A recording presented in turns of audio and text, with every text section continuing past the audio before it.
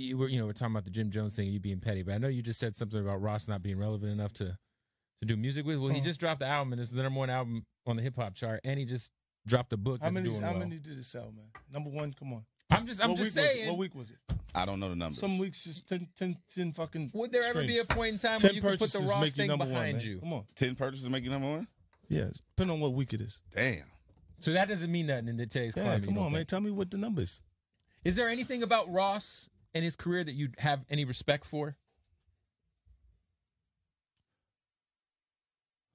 No, no, there's nothing there. There's nothing there. I never wanted to to work with him. Like, you know, I, I look. I understand from a perspective of someone who's just listening to what it sounds like. Hey, I mean, he's a great rapper.